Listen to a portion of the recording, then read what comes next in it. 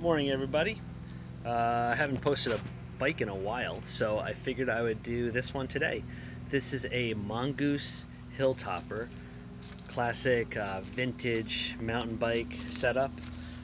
Um, we've got chromoly forks, and the hubs appear to be, um,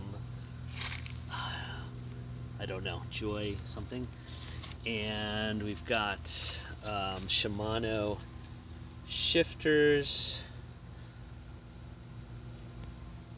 brakes, I'm not sure. Um, the front derailleur is an Altus, uh, same with the back, Altus 820. Cantilever brakes, they look like the Altus line as well. And the crankset is Tracer LP320 low profile, nice triple.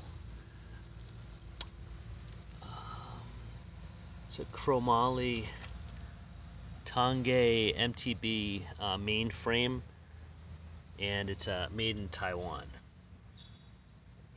And this one looks like it came from Chicopee, Massachusetts. It's a nice bike, really solid, um, TIG welded chromoly all around. Fantastic build quality, aluminum rims. Looks like the stock tires, but uh, a bit of a survivor.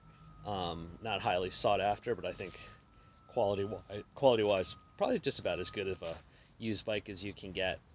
Um, probably, uh, even though it's a mountain bike, better on the on the uh, pavement than it is on the trail because of that rigid um, fork you know you can easily put like a less aggressive tire on there and have a lot of fun with it as a commuter.